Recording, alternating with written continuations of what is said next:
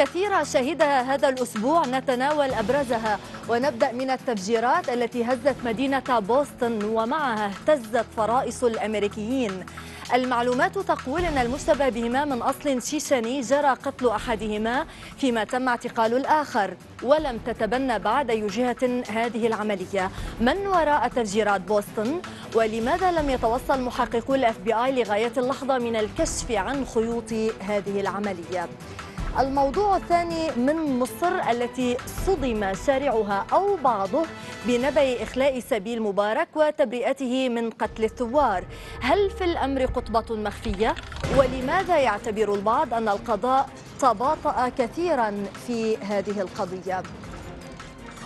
محطتنا الثالثة من فوز نيكولاس مادورو في الانتخابات الفنزويلية بفارق ضئيل جدا على منافسه والسؤال لماذا دخلت واشنطن بهذا الوضوح على خط رفض النتائج؟ وما معنى عدم اعترافها بها؟ ولماذا تتهم بمحاولة تنفيذ انقلاب أو بإشعال حرب أهلية في البلاد؟ ماذا تضمر الولايات المتحدة لفنزويلا؟ أخيرا بيع وشراء في سوق سوداء للإتجار بالأعضاء في ثورة فاضت بالدماء. أهلا بكم إلى العد العكسي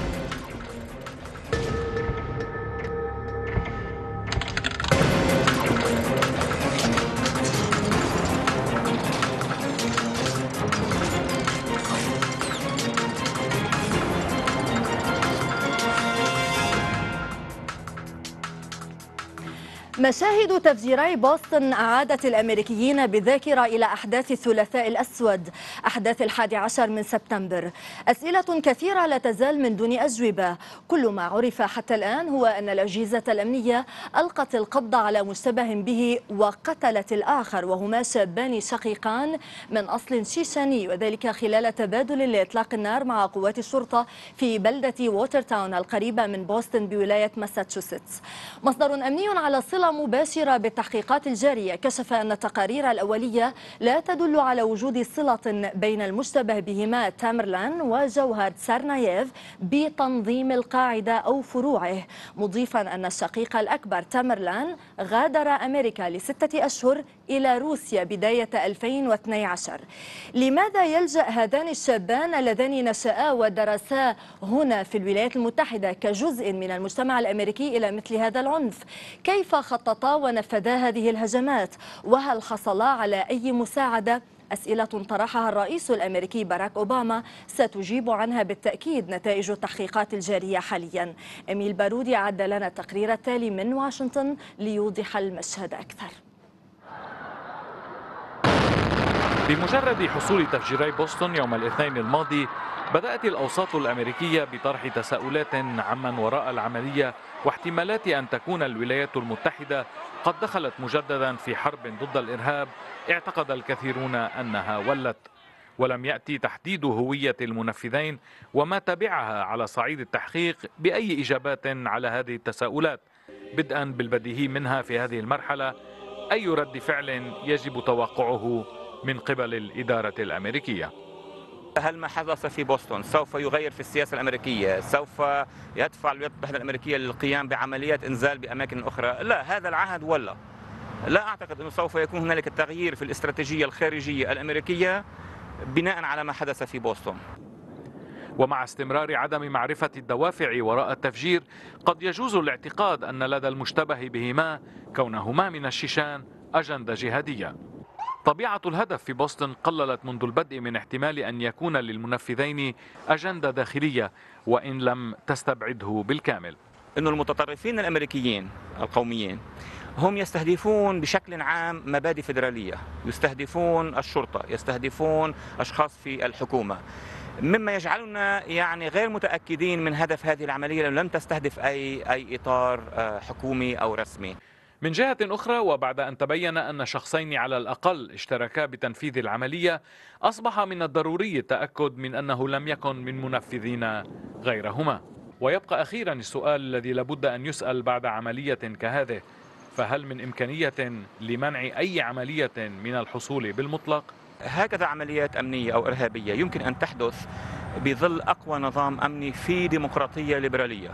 يعني يمكن لو تكلمنا عن الاتحاد السوفيتي أو الصين لكأن ذلك يعتبر آه، ربما فجوة أمنية. بدأ البيت الأبيض يشتاق إلى السياح الذين عادة ما يتكدسون أمام سياجه وذلك نتيجة للإجراءات الأمنية بعد تفجير بوسطن. إجراءات أمنية طالت كل المباني الحكومية والفيدرالية في العاصمة الأمريكية. من واشنطن إميل بارودي الميادين. وينضم إلينا من واشنطن خالد صفوري المحلل السياسي والخبير في الشؤون الأمريكية. كذلك سيكون معنا عبر سكايب مدير مكتب الميادين في واشنطن دكتور منذر سليمان. أبدأ معك دكتور. حسم الأمر لناحية تورط الشقيقين الشيشانيين جوهر وتامرلان ناتسارايف بتفجيرات بوسطن؟ بالتأكيد كل المؤشرات تدل على أنهما قد ارتكبا هذا العمل ولكن لا تزال هناك تحقيقات تجري وسيتم التحقيق مع الأخ المجروح حاليا وجراحات خطيرة. وبعد أن يستكمل التحقيق ربما سيكون هناك معلومات إضافية. الملفت أنه لا يوجد أي إشارة إلى تنظيم محدد إلى مجموعة إلى جماعات أخرى قد قدمت العون. لهم حتى لهما حتى الآن. بالطبع تتكشف أيضا أن الأخ الأكبر تم التحقيق معه من قبل مكتب التحقيقات الفيدرالية في منذ عامين بناء على طلب ربما من موسكو بسبب ربما بعض المعلومات التي توفرت حول إمكانية مواقفه المتطرفة. ولكن السؤال لماذا لم يتم متابعة المراقبة. هناك بعض التسريبات الاستخبارية من أجهزة استخبارات أجنبية تتحدث أنه ربما الأخوين كانا مجندان وأنهما عاملان مزدوجان بمعنى أنه كان هناك تعاطي من قبل ربما الأجهزة الأمنية الأمريكية وبنفس الوقت كان لديهما أجندتهما الخاصة بمعنى أن يخترقا المنظمات المتطرفة. ونتحدث هنا بصورة خاصة عن منظمات المتطرفة الشيشانية وأنهما بنفس الوقت تم تجنيدهما أيضا من قبل هذه المنظمة وأقدما على هذا العمل. الملفت أنه لم يستهدف هذا العمل مركزا حكوميا. أو مركزا مما يعني أنه حتى الالتباس حول الأفق السياسي المتعلق بهذا الهدف بينما استهدف مدنيين وفي مناسبة وطنية وفي وأيضا في مناسبة وهذا دكتور دكتور هذا ما دفع البعض يشكك باحتمال أن يكون لهما أجندة خارجية أو إسلامية متطرفة. سيد خالد مدير أو مصدر في الشرطة قال أن هذه الجريمة أكثر جريمة معقدة تعاملنا معها في تاريخ إدارتنا. ومن هنا ربما نفهم التكتم الذي أحاط بالتحقيقات وسير التحقيقات. استنادا أيضا إلى سوابق ربما تعلمتها واشنطن على سبيل المثال من تفجير أوكلاهوما. هل هذا صحيح؟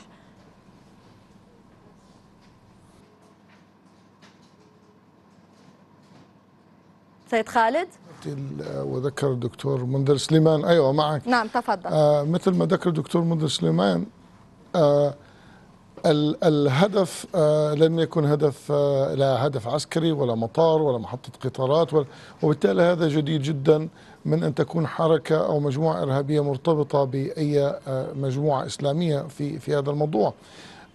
هو حصل سابقا حوادث استهدفت مراكز رياضية نذكر قبل حوالي 14 سنة خلال الدورة الأولمبية في أتلانتا كان تم استهدافها لكن كان الإرهابي إرهابي أمريكي ولم يكن له علاقة بسياسة الشرق الأوسط أو بالإسلام.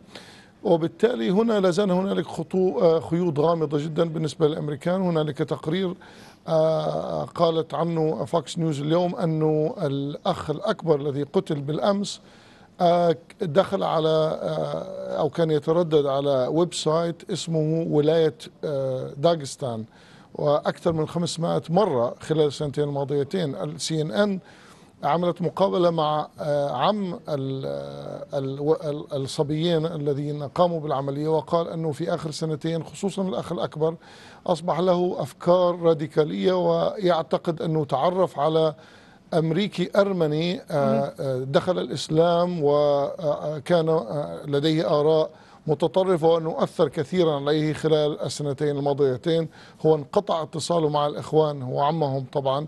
منذ 2009 وبالتالي هو يقول أنه الأخ الأكبر وفي تصوري الأصغر عمره 19 سنة صحيح. فعلى الأغلب الأكبر هو الذي آه، آه، آه، يعني لعب نفوذ أكبر على أخوه الأصغر في إقناعه بالدخول على على العملية وبالتالي أعتقد خلال الأيام أو الأسابيع القادمة ستتكشف بعض الخيوط والأمريكان لديهم إمكانية متابعة الإنترنت حتى لو قبل سنتين أو ثلاث سنوات أو خمس سنوات وكذلك أنا أعتقد أنه آه، احتجاز أخت ال- ال- الشخصين الذين ارتكبوا الحادث في ولاية نيوجيرسي كذلك للتحقيق معها هو من أجل جمع ما تستطيع الحكومة أن تجمع من الخيوط لا زال الوضع غامض لكن آه، ستتكشف نعم. الكثير من الأمور خلال الأيام غامض.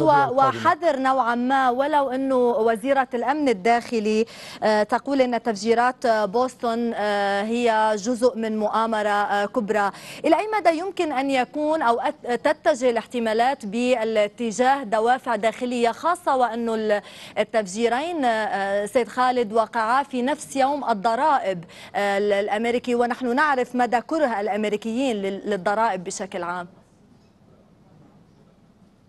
وكذلك يوم ما يسمى Patriots' Day أو يوم الوطني آه، يوم آه، وله معنى كبير بالذات في بوسطن آه، حيث أنه الحرب ضد الإنجليز بدأت في ذلك الوقت. هي بعض التواريخ تقول 15 بعضها تقول 19 لكن بالحالتين هو بالنسبة لمدينة بوسطن اليوم له معنى وحدث مهم ويشارك في هذا ال- السباق 24 ألف شخص. وبالتالي الاختيار لا زال أحد أسباب الغموض آه، كذلك من سبب آخر وتساؤل كبير لدى خبراء الإرهاب في أمريكا إذا كانت القاعدة لها علاقة لماذا لم تعلن مسؤوليتها والقاعدة تاريخيا تعلن دائما مسؤوليتها عن مثل هذه الحوادث إلا إذا كان الشخصين قاموا بالعملية تعاطفا مع القاعدة القاعدة ولكن ليس لهم علاقة تنظيمية بأي جماعة إرهابية هم قاموا بمبادرة شخصية. آه، طبعا هنالك ما يعطي بعض الانطباع عن شخصية الأخ الأكبر أنه أنه ذكر على صفحته في فيسبوك أن قبل أعتقد سنة أو سنتين بأنه آه، يعيش في أمريكا منذ عشر سنوات وليس له صديق أمريكي واحد ويقول أليس ذلك عجيبا؟ وبالتالي هو كان لديه نقمة آه، بعض الشيء على المجتمع الأمريكي حسب ما آه، آه، ذكروا في الفيسبوك. وهذا شيء مشابه آه، التي حصلت في جامعة فيرجينيا تك قبل خمس سنوات. كان مهاجر كوري وكان غاضب على المجتمع الأمريكي وقال أنه كذلك كان يقول المحيطين فيه وأسرته أنه لم يحصل على أي صديق في أمريكا وكان لديه غضب لدى المجتمع الأمريكي ومن أجل ذلك قام بقتل 27 شخص في الجامعة. فيعني مبكر الآن أن نعرف حتى لو كان لديه بعض ال- الخيوط أو علاقات باتجاهات إسلامية متطرفة فأنه قد لا يكون هذا السبب الوحيد بالحادث خصوصا إذا لم يكن له علاقة تنظيمية بأي جهة خارج الولايات المتحدة؟ نعم. آه، سنتابع بعض المعلومات عن آه، ماراثون آه، بوسطن تحديدا. منها ما ذكرته حضرتك قبل قليل سيد خالد. وبعدها أتوجه بالسؤال لدكتور منذر من جديد.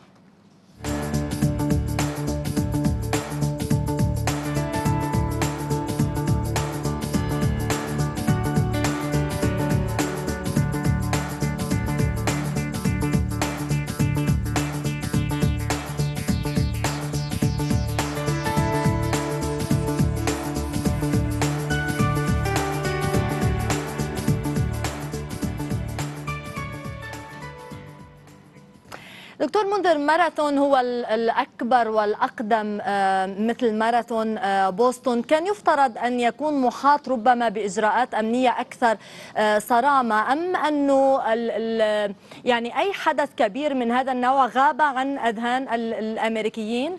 برأيك؟ بالتأكيد كان هناك إجراءات أمنية ومن الصعب في وضعية مثل هذا الحدث الكبير أن يكون هناك ممر أو ممرات إجبارية تلزم كافة الحضور أو المشاركين لإجراء اختبار على المتفجرات. وبالتالي من الصعب الاتهام بأن الإجراءات الأمنية كانت بطيئة أو كانت ضعيفة. ولكن في أي مكان مفتوح كهذا المكان وفي هذه المناسبة سيكون هناك إمكانية للخرق العمدي. ولكن يبقى تبقى أسئلة أيضا في إمكانية توظيف هذا الحدث داخليا في الولايات المتحدة، هناك نقاش جدي يتم حول موضوع السلاح الفردي وامتلاكه، وتم فشل تقديم مقترح قرار في الكونغرس وأفشله فعلا الحزب الجمهوري والحزب الديمقراطي متعاطفين مع لوبي السلاح، اللوبي القوي في الولايات المتحدة، هناك موضوع آخر يتعلق في الهجرة غير القانونية. وكلا الحالتين الآن لهما علاقة بهذا الحدث بمعنى كيفية أن أشخاص أتوا من الخارج، كيف دخلوا، كيف أصبحوا مواطنين أمريكيين هاجروا، وبالتالي هل أن قوانين الهجرة يجب التعديل وهذا الأمر أيضا بعد الانتخابات الرئاسية الأخيرة كان موضوع أساسي، أنا لا أحاول أن أجزم أن هناك ارتباط مباشر بين الحدث وهذين الأمرين الهامين، ولكن التوظيف بعد هذين الحدثين سيكون اساسيا في الولايات المتحدة من حيث الجدال، لذلك بالتأكيد الأجهزة الأمنية ستنظر في أي إجراءات. ستنظر أيضا في موضوع لماذا تم ترك هذا الأخ الأكبر وعدم مراقبته إذا لم تتم مراقبته منذ اتهامه من قبل روسيا بأن هناك علامات استفهام حول تصرفاته، بقائه خارج الولايات المتحدة في الفترة الأخيرة لمدة ستة أشهر، كل هذه الأمور، كيف استطاع الأخوين التدرب على السلاح وعلى المتفجرات دون علم الأجهزة الأمنية؟ ولكن هو لم يكن بحاجة ربما دكتور وأنت تعرف للتدرب أو لكثير من التدرب التفجيرات حصلت بطرق بدائية جدا. يحكى عن أدوات مطبخ، طناجر ضغط وما إلى ذلك. وهذا في الواقع يطرح سؤال أيضا إنه ب يعني هذه الطرق البدائية يستطيع أي كان أن يقوم بأي حدث أو بأي تفجير في أي مكان سيد خالد؟ لا شك وهذه المعلومات متوفرة على الإنترنت وهذا ما ذكر. يعني هنالك العديد من في الولايات المتحدة هنالك العديد من شبكات الإنترنت التي تنشر حتى كيف تصنع قنبلة نووية وتتكلم حتى عن الكمية الحرجة بتقدير ليس تماما قنبلة نووية قنبلة عادية أستاذ خالد. لا أنا لا أعرف أقول أنه نعم. في الولايات المتحدة هنالك website تتكلم حتى عن القنبله النووية. فهذا موضوع غير مفاجئ. نحن نعرف أنه العديد من حوادث التخريب في أمريكا حصلت قام بها ناس تعلموا كيف يضعوا القنبلة على الإنترنت. وبالتالي التدريب العسكري ليس من الضروري انه حصلوا الأخ... الأخوين على تدريب عسكري لكن وارد جدا أن خلال غياب الأخ الأكبر لمدة ستة أشهر في روسيا أنه كان في منطقة الشيشان أو داغستان وهنالك تدرب على هذه الأمور وأنه هو الذي ركب القنبلة والأخ الأصغر فقط ساعده في وضعها وهذا شيء وارد. وأنا يعني في اعتقادي في النهاية قد يكون هذا هو قد يكون وارد ولكن لا نريد يعني كما ذكرت حضرتك أن نستبق التحقيقات ونوجه باتجاه معين. على ذكر ما قاله دكتور منذر قبل قليل أنه بحال بالفعل تم يعني التثبت من أن هذين الشيشانيين متورطان في التفجيرين إلى أي مدى سيكون هناك توظيف لما جرى أو ردات فعل تجاه المسلمين من جديد؟ يعني صحيفة يو إس إس توداي تقول في حال وجدت أي صلة تربط بين المتطرفين الإسلاميين وتفجيرات بوسطن فإن مخاوف المجتمع الإسلامي وجهوده المضنية للسيطرة على أي من هذه المخاوف سوف ترتفع إلى مستوى جديد آخر. اليوم في صحيفة الواشنطن بوست هنالك مقال في في الواشنطن بوست يتكلم عن أنه هل نحن نواجه جيل جديد من الإرهابيين تسميهم إرهابيين الجيل الجديد الذين تربوا في أوروبا. يعني كاتبه المقال أن أننبام تتكلم عن الحوادث التي حصلت في بريطانيا وفي إسبانيا وفي فرنسا والتي قام بها أولاد المهاجرين المسلمين. وبالتالي تقول أنه الأجهزة الأمنية ممكن عليها أن توجه انتباهها بدل أن تتوجه بالانتباه على المهاجرين وعلى الخارج أن توجه انتباه إلى الداخل وإلى جيل جديد من الإرهابيين الذي بدأ يتربى في الدول الغربية. وأعتقد أنه هذه هذا المقال يعبر عن توجه كامل في الأجهزة الأمنية الأمريكية وأعتقد أنه الجالية ستدفع ثمن. نحن نعرف أنه منذ أحداث سبتمبر تم اعتقال وسجن 390 شخص مسلم في الولايات المتحدة وسجنهم والعديد منهم ب يعني مسكوا متلبسين في إما على وشك أن يضعوا قنبلة وأم وأم وإما أنهم كانوا يضعون أو يرتبون لعملية إرهابية. وفي الكثير من الأحيان كانت الاف بي اي وراء الترتيب ولكن كانت توقع بهؤلاء الأشخاص. لكن مجرد انه الشخص أبدى اهتمام بأن يقوم بذلك هذا يكفي بالنسبة للأجهزة الأمنية أن تعتقله. وبالتالي ال 390 حالة التي حصلت خلال ال 12 سنة الماضية تعطي أو تلفت تلفت انتباه الأجهزة الأمنية إلى الداخل، معظم هذه الحالات هي في داخل أمريكا، نعم. جزء منهم مهاجرين لكن جزء منهم هم جيل ثاني أو بعض الأمريكان البيض الذين تحولوا للاسلام وفي حالة في فلوريدا كانوا خمسه أو ست أشخاص من الأمريكيين السود الذين اعتنقوا الإسلام قبل فترة. نعم. و يحاولوا أن يخططوا لضرب سيرز تاورز. وبالتالي أعتقد أنه ستدفع الجالية ثمن لكن كل ذلك يعتمد على كيف تعالج قيادات الجالية والقيادات السياسية الأمريكية هذا الموضوع وكيف تعالج ربما وسائل الإعلام الأمريكية هي بشكل أو بآخر تؤثر على الرأي العام الوسائل التلفزة بشكل خاص دكتور منذر كيف تعاطت مع الموضوع؟ يعني للأسف حتى الآن لا تزال هناك مجالات وفرص ل الخطأ للجهل أو ربما أحيانا عن قصد في عمليات تحريض في كيفية حرف المعلومات. وارتكبت مثلا سي ان ان بصورة خاصة ولا نقول عن فاكس نيوز المحافظة التي عادة ما تحرض على الأقليات وعلى المسلمين. ارتكبت خطأ كبيرا مبكرا قبل الكشف عن هويتهما بالحديث بالإشارة إلى أن طبيعة السحنة للشخص كان لم يتم اعتقال أحد وتم تسريب أن سحنته سمراء وهذا يعني يدفع باتجاه معين، إذا الإعلام الأمريكي لا يزال يتعاطى في السعي وراء السرعة على حساب الدقة وفي اختزان قيم ومواقف قيمية معينة دائما تنظر بصورة دونية وبصورة محرضة على المسلمين وعلى الأقليات الأخرى وعلى السود وعلى الهسبانيك. نعم. لا يزال هذه الثقافة قائمة. فقط أود أن أضيف مسألة بقطع النظر عن الأجيال التي تدخل في هذا العنف. هناك المجتمعات الغربية والمجتمع الأمريكي مجتمع حاضن للعنف. إن كان على مستوى ثقافة العنف قائمة في السينما في التلفزيون في الحياة العامة في في القدرة السهلة على امتلاك السلاح الفردي في هذه القدرة الكبيرة القوية للوب السلاح. يعني بمعنى ليست هي السبب الرئيسي ولكن هذا سبب يسهل كثيرا على الإقدام على أعمال عنف داخل الولايات المتحدة لتوفر وسائل استخدام العنف إن كان المتفجرات وإن كان حتى الأسلحة الفردية وربما من العوامل التي أرعبت الأمريكيين مباشرة بعد تفجيرات بوسطن وقوع الانفجار بتكساس ومن ثم الحديث عن الرسائل المسمومة لمسؤولين أمريكيين من بينهم أوباما. الآن تأكد أنه لا علاقة لهذه الأمور ببعضها؟ يعني هي محض صدفة مسألة التوقيت؟ هو بالفعل التوقيت مريب ولكن موضوع تكساس بصورة خاصة موضوع كان له ارتباط بتفجيرات سابقة خاصة تفجير أكلاهوما الأسمدة التي تستخدم فيها مواد كيماوية.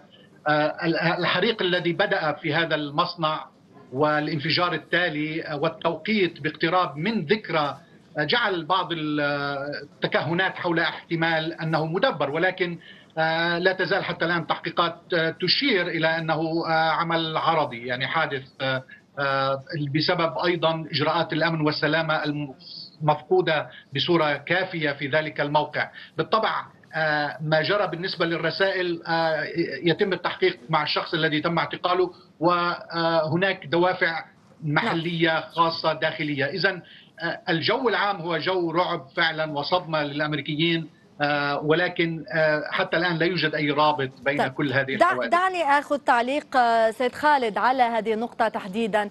التوقيت الانفجارات تفجيرات بوسطن انفجار تكساس والرسائل المسمومة الموجهة للمسؤولين الأمريكيين.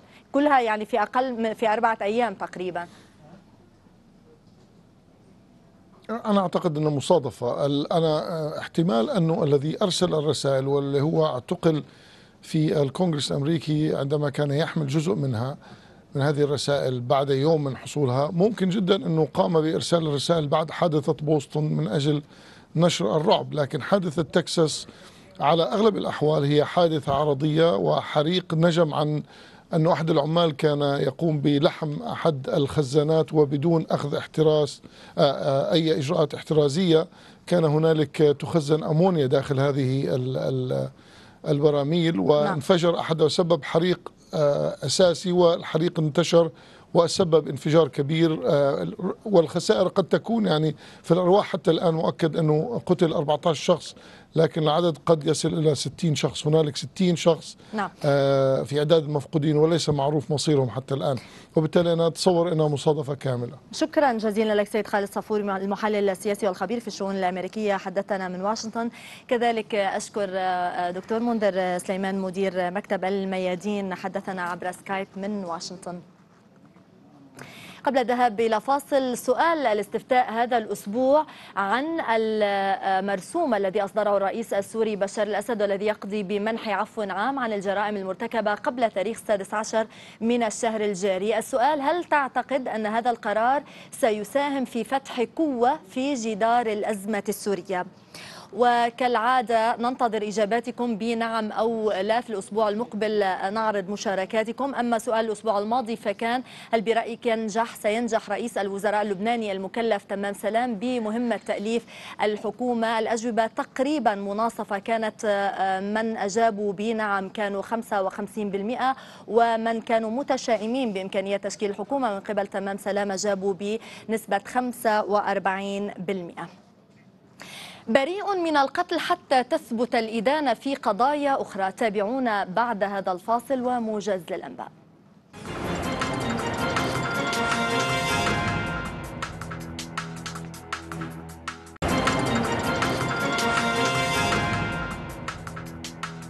أهلا بكم من جديد إلى العد العكسي بكثير من الصدمة والغضب استقبل المصريون قرار إخلاء سبيل الرئيس المخلوع حسني مبارك وتبرئته من قتل الثوار وإن أعيد سجنه بتهم أخرى. اللافت في الأمر أن مختلف الأحزاب والقوى السياسية سواء المنتمية إلى جماعة الإخوان المسلمين أو تلك المنتمية إلى المعارضة استنكرت القرار. ففيما اعتبرت جماعة الإخوان أن تبرئة مبارك من قتل المتظاهرين استهزاء بأهالي الشهداء واستفزاز للشعب المصري رأى البعض الآخر أن القرار ما هو إلا دليل بين على خيانة الإخوان للثورة والشهداء. أسئلة كثيرة طرحها البعض هل تبرئة مبارك مقدمة لسلسلة براءات ستظهر لاحقا؟ هل هناك صفقة ما بين الإخوان والرئيس المخلوع لاستعادة أموال مبارك المهربة وإنقاذ اقتصاد مصر؟ لماذا طمست الكثير من الأدلة والحقائق فيما يتعلق بالمحاكمة ومن طمسها؟ ما سر ظهور مبارك بهذه الحيوية والثقة في آخر صور له؟ من القاهرة سمية شناوي أعدت لنا التقرير التالي لتوضح المشهد أكثر. قررت المحكمة إرسال الجنايتين المعروضتين على المحكمة إلى محكمة السناء في القاهرة لاستشعار رئيس الدائرة الحرج. من نظرهما الحكم بإخلاء سبيل مبارك ليس الحكم الأول في مسلسل البراءات الذي بدأ مع بدء محاكمات رموز النظام السابق.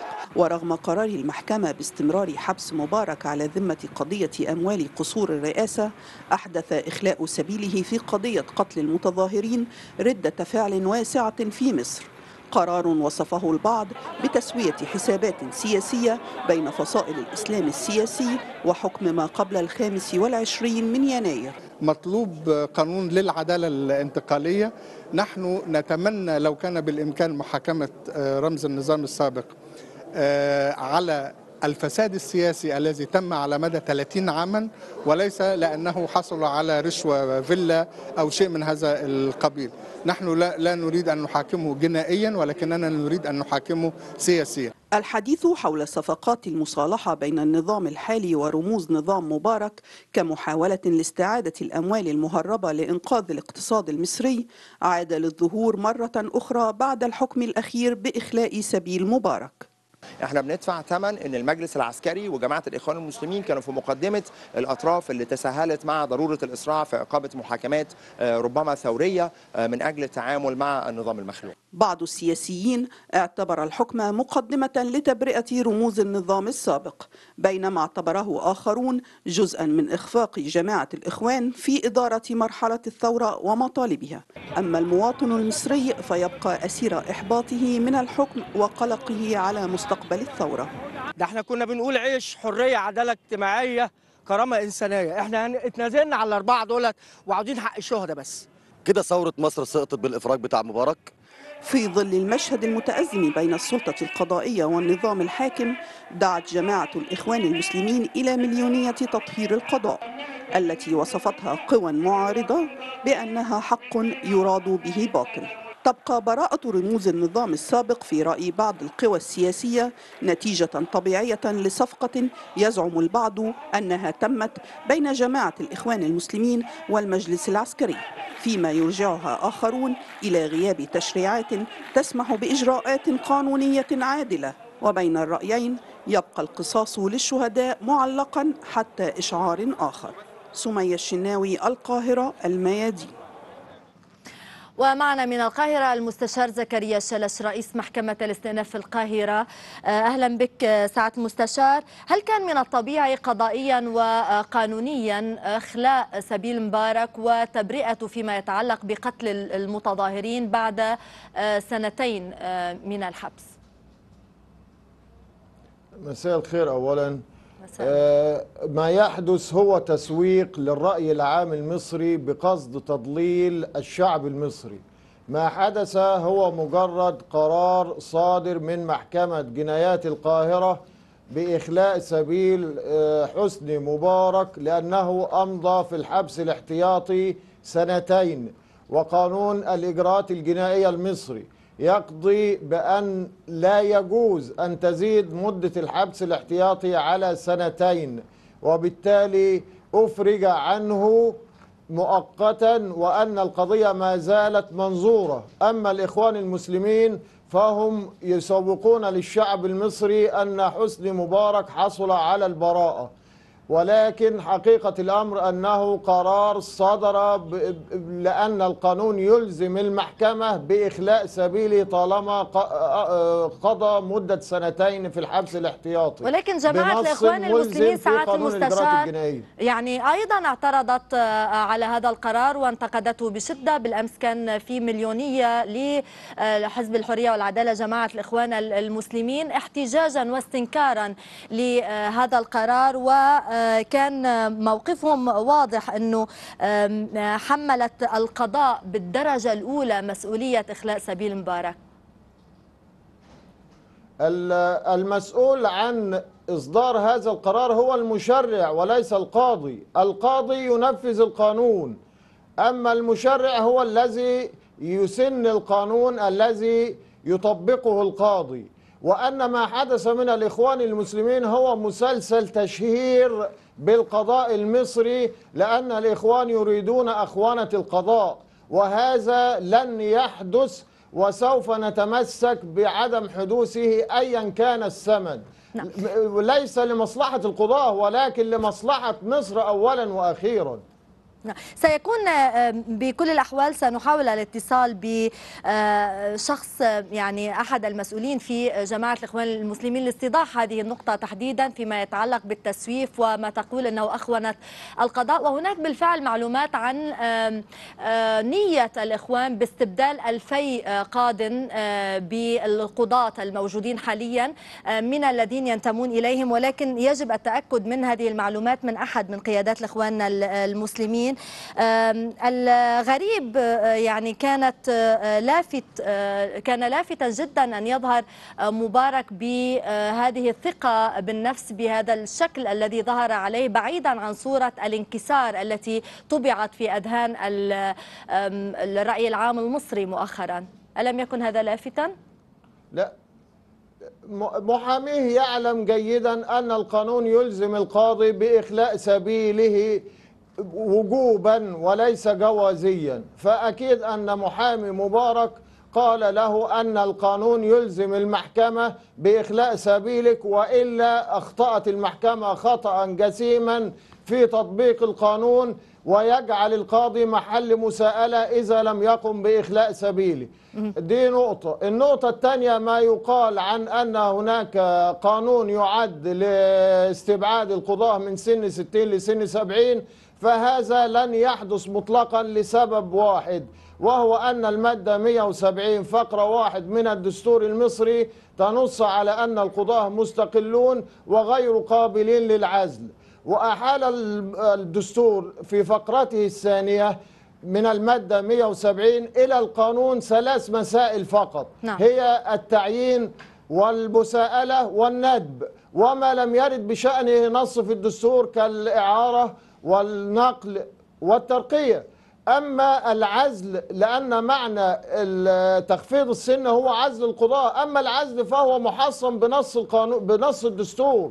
وأي قانون يصدر بتخفيض السن سيطعن عليه بعدم الدستورية. وستحكم المحكمة الدستورية العليا بعدم دس- دستوريته نعم. أي انعدامه منذ نشأته. طيب قلت قبل ولم يملك قليل. الإخوان إصدار مثل هذا القانون. سعادة المستشار يعد قبل ذلك قليل. عبثا بالدستور والقانون. نعم ذكرت أن القضية ما زالت منظورة. أي قضية؟ قضية تبرئة آه، مبارك من قتل ال- المتظاهرين أم أنه ال- التهم زال. الموجهة إليه في قضايا أخرى؟ جميع القضايا ما زالت منظورة أمام القضاء. لم يحكم في أي قضية آه، ضد حسن آه، ضد حسن مبارك حتى الآن. لم ليس هناك حكم بات أو أي حكم بالبراءة لصالح حسن مبارك حتى الآن. ولكن أصحاب النفوس الضعيفة يسوقون للشعب المصري أن القضاء يمر يبرئ مبارك بقصد إهانة القضاء و, و, و, و يعني إهانة القضاء وانشغال الشعب بهذه المسائل الفرعية وك و وبقصد كراهية الشعب للقضاء طيب. ولكن الشعب المصري مثقف ويعلم جيدا آه، معظم آه، نصوص القانون طيب نحن سنتابع الحديث. جاهلا لهذه الدرجة. الحديث معك وما زلنا نحاول في الواقع الاتصال بأحد قيادات الإخوان المسلمين لل يعني توضيح بعض النقاط. نتابع آه، يعني آم، آه، تحديدا آه، النائب الع... رأي آه، حسين إبراهيم الأمين العام لحزب الحرية والعدالة آه، ماذا قال عن قرار تبرئة مبارك بقتل المتظاهرين؟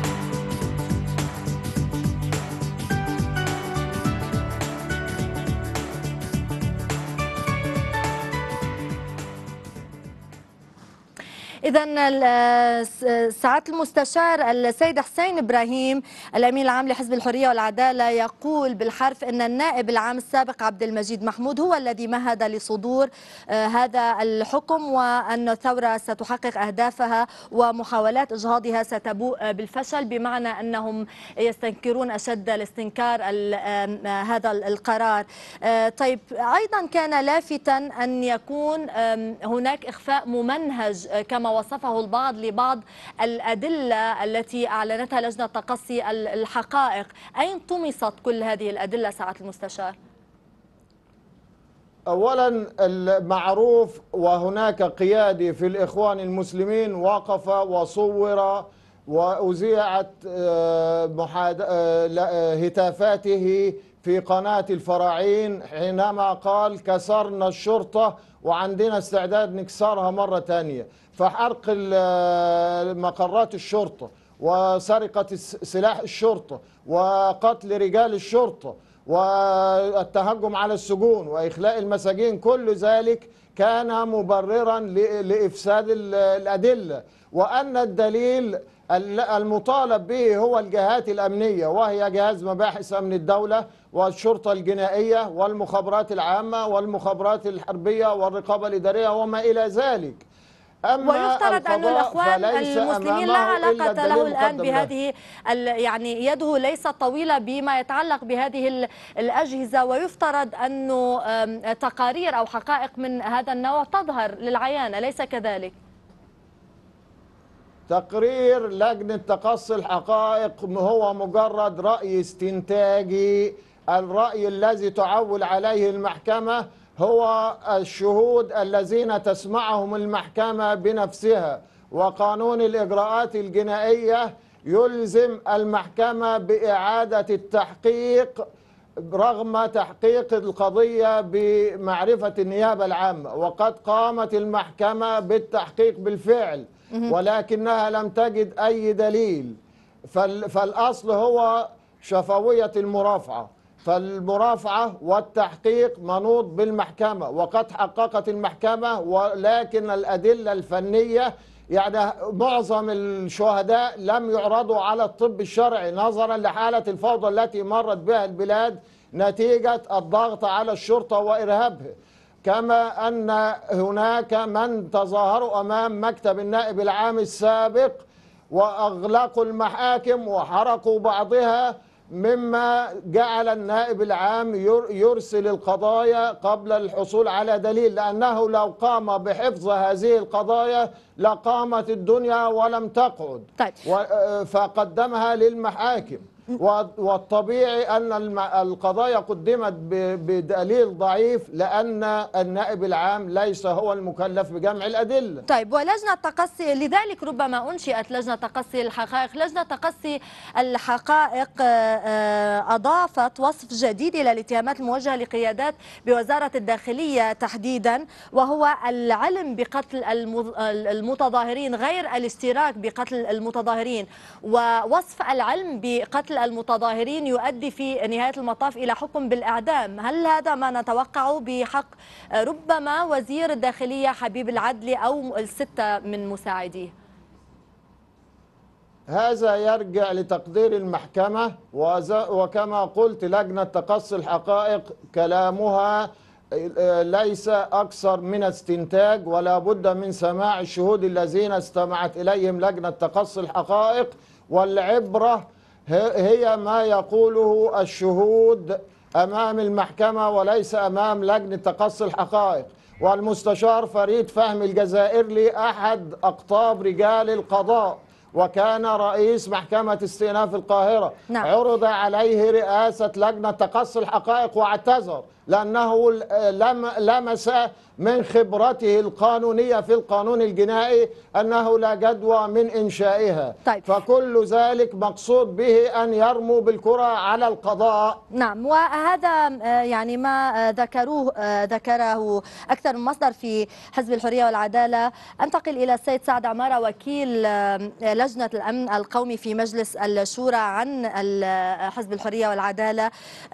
قيل الكثير وسأل حبر كثير في الواقع آه، سيد سعد عن مسألة الصفقات ما تمت آه، من آه، وراء ال- القرار بتبرئة حسني مبارك بالرغم من الاعتراض الشديد الذي جاء على لسان أكثر من مسؤول في حزب الحرية والعدالة من ما حكي مثلا أنه صفقة بين الإخوان ومبارك لاستعادة الأموال المهربة في الخارج وإمكانية إنقاذ اقتصاد مصر بما تردون؟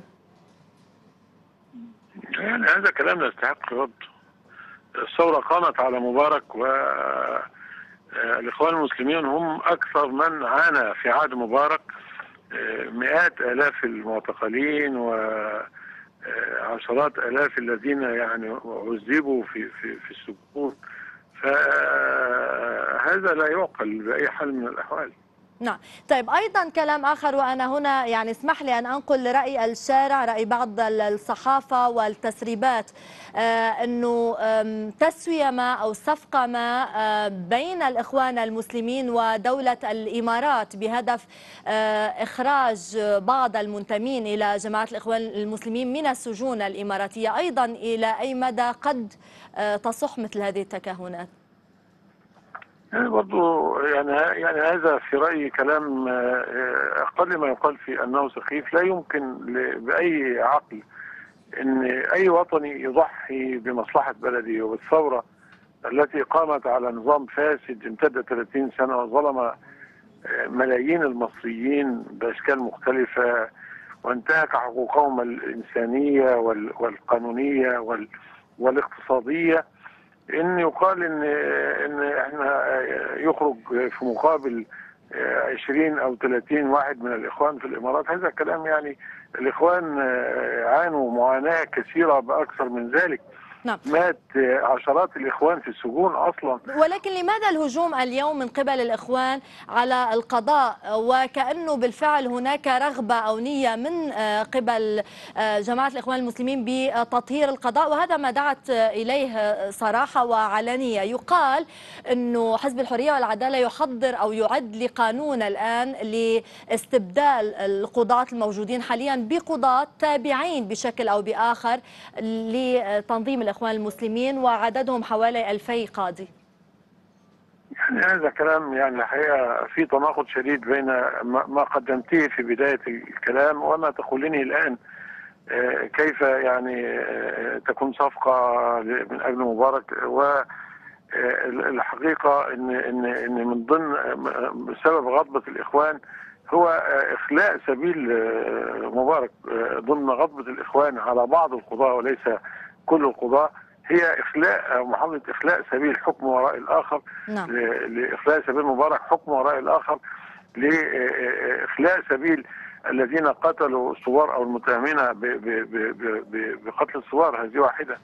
ما يقال إن في 2000 قاضي آه، تابعين للإخوان. يعني هذا كلام الحقيقة في طول عهد مبارك والذي بلغ سن 60 الآن من القضاة. أو يزيد نعم. دخل آه، وهو نا- آه، وهو وكيل نيابة في عهد مبارك. وعهد مبارك كما نعرف كان هناك آه، لا يمكن لاحد يدخل كوكيل نيابة من الإخوان أو قريب من الإخوان. أصلا كان تنظيم محظور يعني هذا معروف. شكرا. هذا محظور كان نعم. محظور عليه دخول الشرطة وال وال وال والكليات العسكرية ووزارة الخارجية والنيابة العامة. نعم. شكرا جزيلا لك سيد سعد أمارة وكيل لجنة الأمن القومي في مجلس الشورى. كذلك أشكر سيد زكريا المستشار زكريا شلش رئيس محكمة الاستئناف في القاهرة حد- حدثتنا من القاهرة. آه،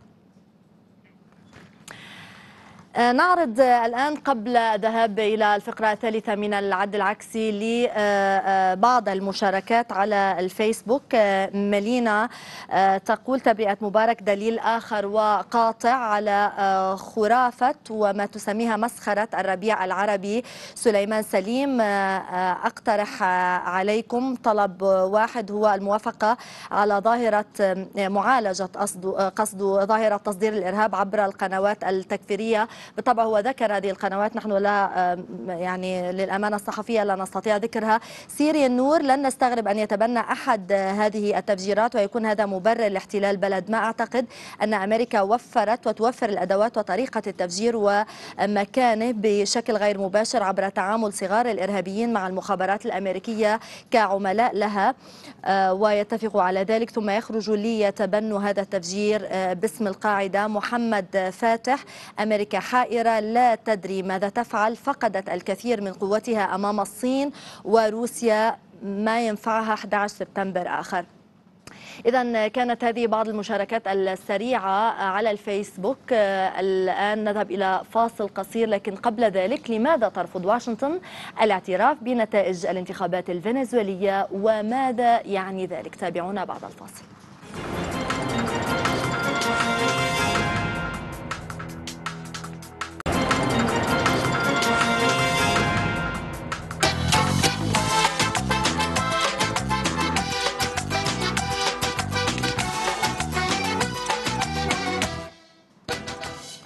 بشكل واضح وصريح اعتبر تدخلا صارخا في الشأن الداخلي للبلاد. انتقدت الولايات المتحدة الإعلان الرسمي عن فوز عن فوز نيكولاس مادورو برئاسة فنزويلا. استهجن المتحدث باسم الخارجية الأمريكية التسرع بإعلان النتائج قائلا من الصعب فهم لماذا أعلن المجلس الوطني الانتخابي فوز مادورو قبل نهاية عملية إحصاء جديدة للأصوات لكنه ندد في الوقت نفسه بأعمال العنف التي تلت عملية الاقتراع.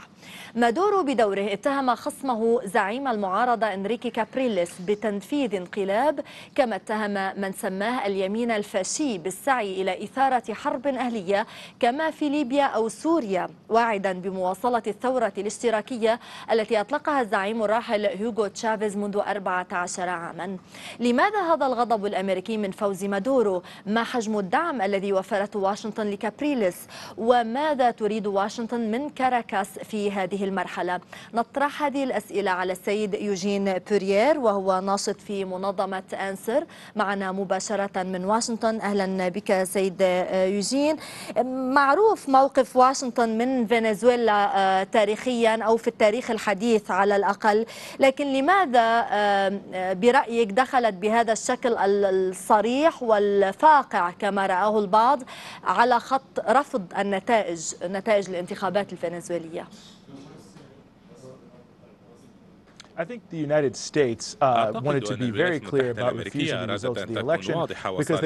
Everything they could to bolster the opposition to President Maduro and to the Bolivarian socialist process in Venezuela. Because so many of the, the major organizations الرئيس وشاهدنا في أمريكا اللاتينية وفي دول عدة في العالم انتخابات كانت تسمى بأنها حرة ومستقلة وكانت هذه الحال في فنزويلا لكن المعارضة ظلت تعزز الاضطراب في المنطقة وشنت حملة واسعة نطاق تشمل العنف وهي بحاجة بالتالي إلى هذه المظلة مظلة الدعم الدولية التي قدمتها الولايات المتحدة الأمريكية وهي العدو اللدود للرئيس تشافيز وأرادت أن تفعل كل ما في وسعها لكي تساعد في تعزيز قدرتها المعارضة وأن تنزل إلى الأرض وأن تقوم بهذه الأعمال الفوضوية. وهل يعني سيكون بنيتها ربما إحداث قلاقل أو اضطرابات من نوع بشكل أو بآخر؟ بشكل مباشر أو غير مباشر يعني هناك اتهامات اليوم للولايات المتحدة بإحداث انقلاب من قبل مادورو ومن قبل غيره من رؤساء أمريكا اللاتينية هل تعتقد أنه يعني تعمل واشنطن على هذا في المدى البعيد؟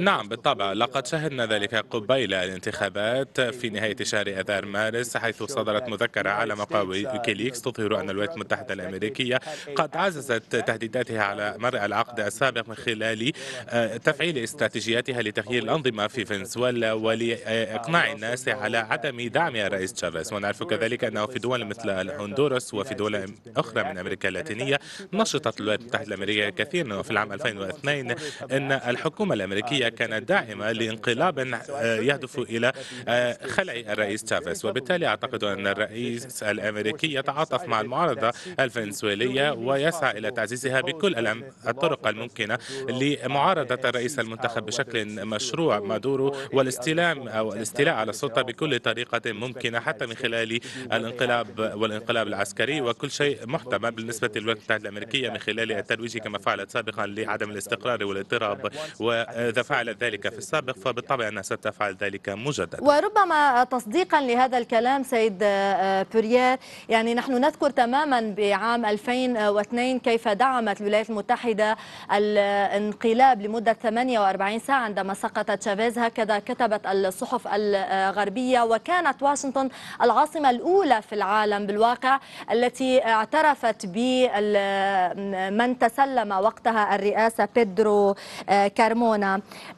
اسمح لي أن أقرأ ما كتبوا كل من خورخي مارتن وألين وودز.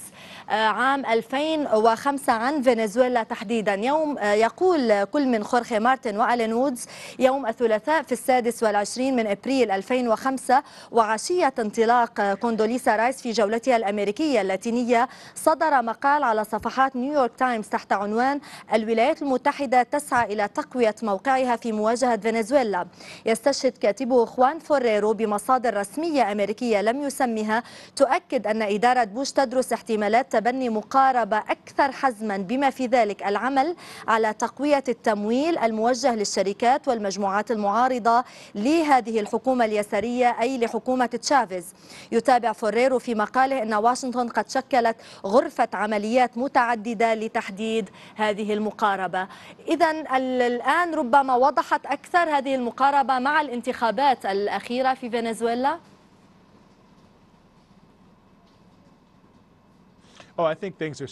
أعتقد بالطبع أن الأمور أصبحت أكثر وضوحا. فالمعارضة في فنزويلا والولايات المتحدة الأمريكية تتبع موقفا واضحا. مفاده أن الأوقات دقيقة وربما هي الفرصة الأفضل والأمثل بالنسبة إليهما منذ العام 2002 ومنذ العام 1989 بهدف زعزعة الثورة البوليفارية في فنزويلا. ونشهد حاليا اتساع رقعة الحملات المعادية. ولقد شاهدنا الولايات المتحدة الأمريكية التي لم تنبس بانتشافها عن أن السيد كابريلس قد قدم الكثير من المعلومات الخاطئة مدعيا التسوير في هذه الانتخابات ومع ذلك الولايات المتحدة الأمريكية تدعم المعارضة والادعاءات طوال الوقت ويدلل ذلك على عدم الاكتراث بالحقيقة ليس فقط من خلال الاعتراف بنتيجة الانتخابات بل أيضا من خلال الاعتراف بأن الشخص الذي تدعمه الولايات المتحدة الأمريكية ينشر الأكاذيب ويعزز الاضطرابات في الشارع ويعني ذلك أن الهدف الأمريكي هو الهدف نفسه الذي تجلى في السابق لدى الولايات المتحدة الأمريكية وهو احتواء التطور الحاصل في فنزويلا وقلب الأوضاع ومنع الشعب الفنزويلي ذاك النموذج الذي يمثله الشعب الفنزويلي من الانتشار في هذه القارة الأمريكية اللاتينية التي بدأت ترفض أن تكون تحت حكم أقلية من الأشخاص. نعم. ماذا يعني أن واشنطن لن تعترف بنتائج هذه الانتخابات؟ ما الذي يمكن أن يترتب على ذلك؟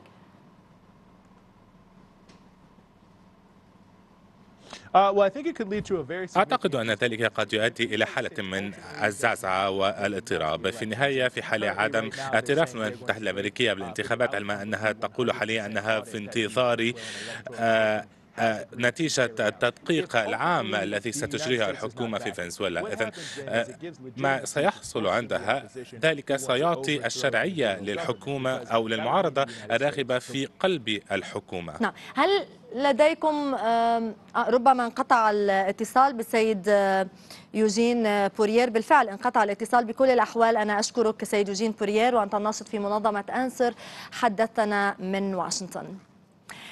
نمر أيضا على مشاركات أخرى في الفيسبوك.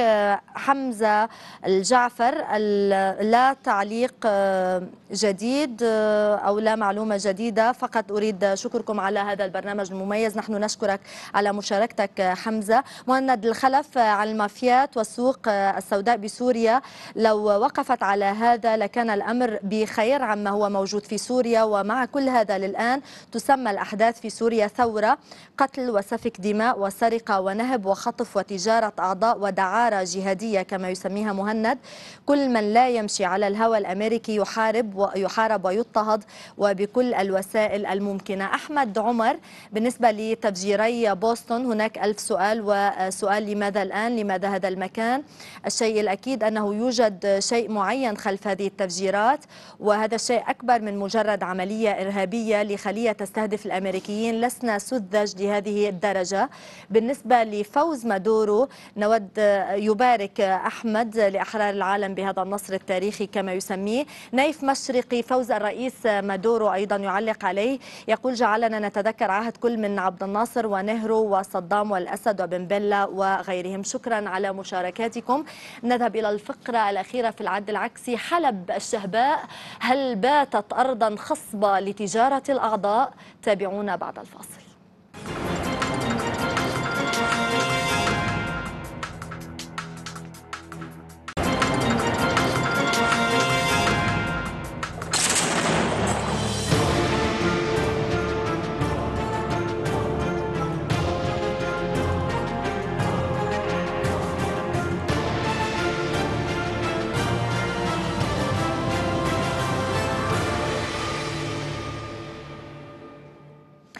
هي تجارة ليست حكرا على أحد لكنها تنشط وتجد سوقها في زمن الحروب والتفلت الأمني. التجارة بالأعضاء تجارة تزدهر هذه الأيام في سوريا لا سيما في الأجزاء الشمالية مع الحدود مع من الحدود مع تركيا. ويقال إن مدينة حلب وأحيائها الشرقية مصدرها الأساس. لا يمكن توفر صور أو فيديوهات حية عن هذا الموضوع نظرا لطوق السرية الذي يضرب حوله من قبل القائمين عليه. كما أن الحصول على شهادات لأشخاص تعرضوا لعمليات من هذا النوع لا يبدو سهلا.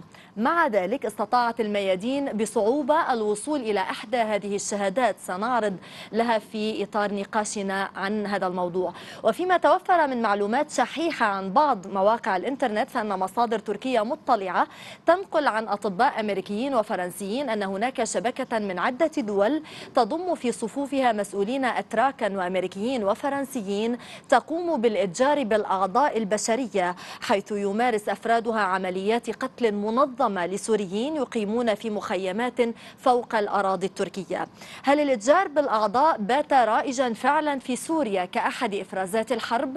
أين وكيف تتم هذه العمليات ومن يقوم بها؟ كيف يمكن الحد منها أو إنهاؤها ربما؟ نطرح هذه الأسئلة وغيرها على بركات كارس الكاتب الصحفي والمحلل السياسي التركي من أنقرة أهلا بك سيد بركات أولا نريد أن نعرف ما إذا كان بحوزتكم معلومات أو معطيات عن هذه المسألة التجارة بالأعضاء خاصة على الحدود بين بين سوريا شمال سوريا وتركيا.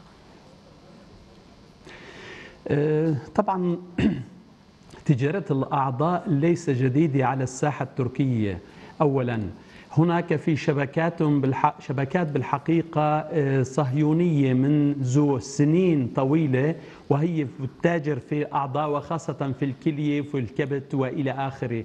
من الأعضاء جسم. طبعا هذه المناخ الحرب التي الدائرة والقذر الآن في سوريا وعلى حدود تركيا بالذات طبعا وفر المناخ لهذه الشبكات أن تشتغل وتتحرك بارتياح أكثر عن ما كانت عليه سابقا. لذلك الآن نحن طبعا الصحف كان والشعب كان والأخبار ومن عديد من الناس اللي بالحقيقة تطلع على هذه الأمور وهي تمر فيها تبين بأنه هذه تجارة الأعضاء أصبحت تجارة كبيرة جدا وهي الآن تقوم فيها مجموعات من داخل سوريا على الحدود التركية على الطرفين من خلال المشافي المتجولة دائما التي حاولوا شكلوها من خلال طبعا أطباء أطباء متعددي الجنسية. يقال إنه بينهم أطباء ربما أمريكيين وفرنسيين وأتراك وغيرهم. ولكن أنت شخصيا هل التقيت أو تناهى إلى مسامعك من أحد من معارفك مثلا أنه التقى باناس مروا بتجارب من هذا النوع؟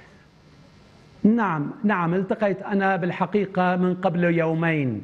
من قبل يومين بممرضة كانت تعمل في مشفى داخل جسر الشغول وهي سورية الجنسية وبالفترة الأخيرة هربت وخرجت إلى تركيا.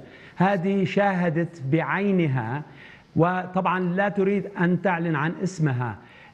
شاهدت في عينها بالشخص بالأشخاص التي أصيبوا في جراح وأتوا إلى تركيا نقلوا إلى تركيا ثم بعد أسبوع رجعوا رجعوهم إلى المشفى أيضا رجعوا إلى المشفى في في سوريا وتبين معهم عندهم التهابات هناك وهذه التهابات التهابات عندما فتحت العملية تبين بأنه الكلية متخذة. نعم. يعني هذه بثلاث حالات موجودة هذه الآنسة شاهدت هذه المسألة. من دون أي صور يعني فقط للتأكد ربما أكثر الصورة باتت في هذه الأيام أصدق إنباء من الكتب أو من يعني الكلام بكل الأحوال.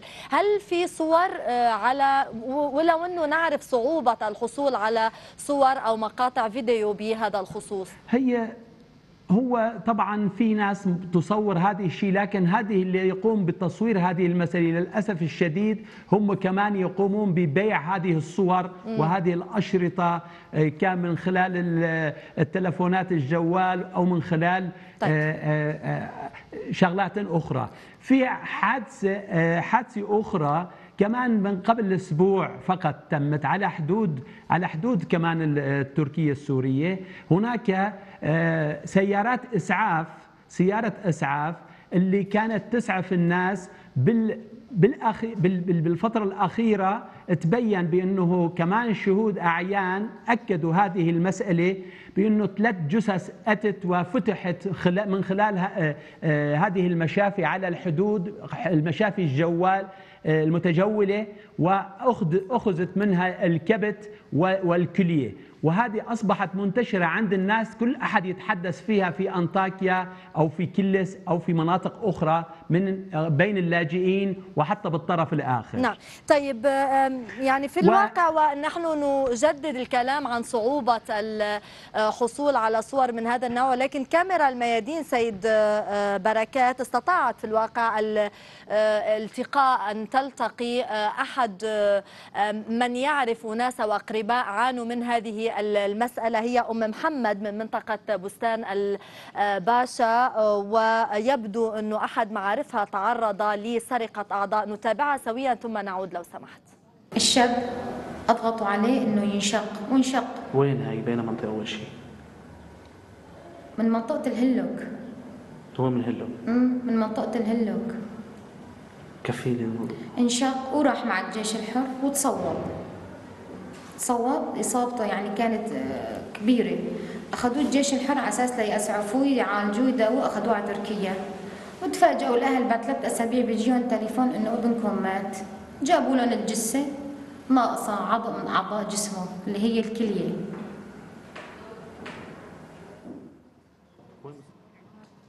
بالإضافة إلى آه، هذه العينة هناك بعض الأسماء نشرت آه، نشرتها بعض مواقع الإنترنت. لا ندري مدى صحتها في الواقع. آه، يعني جاسم المنبجي أيضا حميد المنبجي هو أحد أقاربه يتحدث عن نفس المشكلة. ذهب إلى أحد. إحدى المستشفيات في تركيا عاد بعد أربعة أيام ثم توفي. وفي النتيجة كان من دون كلية اكتشف أنه من دون كلية وتوفي بهذا السبب. أيضا سليمان تركماني تعرض لنفس المشكلة. هل آه، يعني ليس بالضرورة أن نكون أمام آه، فريق سياسي ربما يقوم بعمليات من هذا النوع؟ تجارة الأعضاء لأنها مربحة بشكل بشكل عام ربما يقوم بها كل من آه، يتوفر له ذلك أليس كذلك؟ ولكن نحن هنا نتحدث عن مناطق الشمال السوري يعني حلب ومن ثم إلى تركيا. نعم.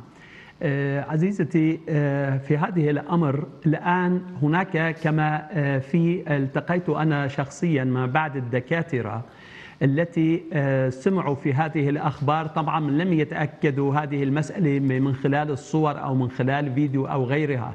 لكن لديهم معلومات من خلال الناس اللاجئين في المخيمات.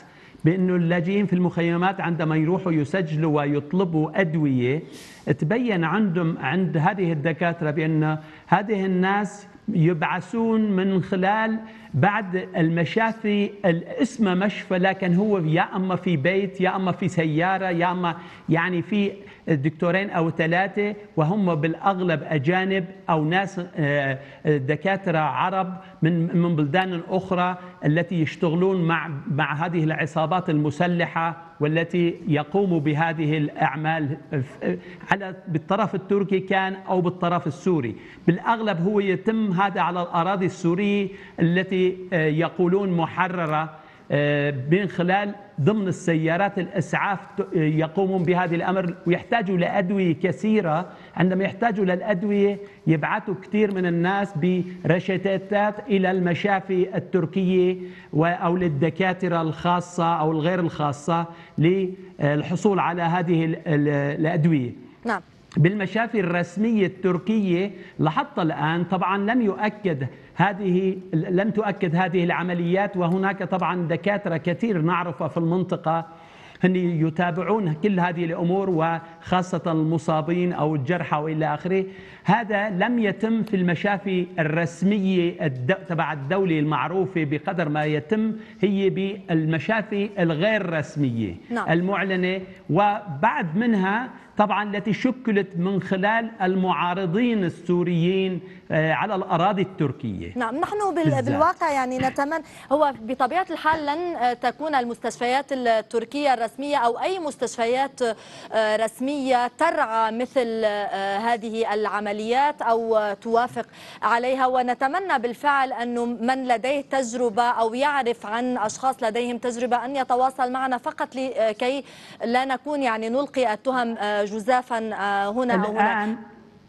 تفضل بسرعة نعم. لو سمحت أقل من دقيقة. الآن الآن الآن اتحاد أطباء تركيا بدأ يتابع هذه الأمر من خلال آه، مسؤولين آه، ومهتمين في هذه المسألة وفي تركيا بعديد من المناطق.